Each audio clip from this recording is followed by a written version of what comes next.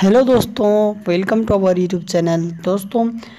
आज के इस वीडियोज़ में हम रिनल ट्रैवर का पीडीएफ ब्रोसर जो है आपको यहाँ पे दिखा रहे हैं तो दोस्तों अगर आपको लेटेस्ट टेक्निकल और ऑटोमोबाइल से related videos unboxing tips and tricks videos